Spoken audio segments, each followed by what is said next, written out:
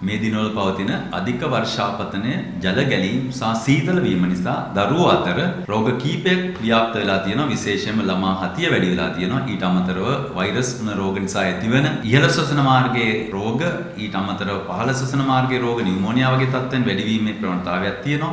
ඊටත් අමතරව ජල ගලන ප්‍රදේශවල ඒ දරුවන්ට පිරිසිදු ආහාර පිරිසිදු ජලය නොලැබෙන තත්ත්වයක් ඇති වෙලා ඒ මගින් පාචන තත්ත්වය නැතිවීමේ ප්‍රවණතාවයක් ඊටත් අමතරව වැස්සත් සමගම ඇතිවන මේ මැස්සන්ගේ වැඩිවීම නිසා ඇතිවන තත්ත්වය නිසාත් පිරිසිදු ආහාර ලබා ගැනීමේ හැකියාව අඩු වෙන්න පුළුවන්. ඒ නිසා පාචන තත්ත්වය ඇතිවීමේ ප්‍රවණතාවයක් තියෙනවා. ඊටත් අමතරව මියුන වගේ තත්ත්වයන් වැඩිවීමේ අවදානමකුත් තියෙනවා. ඊටත් අමතරව මේ වැස්ස කාලයට පසුව ආපෞසරයක් ඩෙන්ගු උණ රෝගීන් වැඩිවීමේ අවදානම තියෙනවා. ඉතින් මේ ගැන අපි සොයලා කටයුතු කළ යුතුයි. විශේෂම ළමා හතිය වැඩි වෙන්න හේතුකාරක කීපයක් තියෙනවා. සීතල වීම, ගෙදර තාත්තා කෙනෙක් සීයා කෙනෙක් දුම්පානය කරනවා නම් ළමා හතිය දෙන්න වැඩි වෙන්න ඉඩ කඩ තියෙනවා. ඊට අමතරව දූවිලි තත්ත්වයන් අපි හිතන්නේ නැහැ ගෙදර ෆෑන් එක, net එක වගේ දේවල් සතියකට සැරයක්වත් අපි සුද්ධ කරන්න ඕනේ. අපේ ගෙදර කාමරේ අපි ටෙඩි බෙයාස්ලා සොෆ්ට් ටොයිස් තියාගෙන ඉන්නවා නම් ඒ කාමරේ හරි ඇඳේ හරි ඒක පොඩ්ඩක් අයින් කරන්න. පිරිසිදුකමත් ඉතාමත් වටිනවා. ඉතින් ළමා හතිය වැඩි වෙලා තියෙන මේ අවස්ථාවේ ඒක වළක්වා ගන්න මම හිතන්නේ අපි හැමදාම කටයුතු කරමු.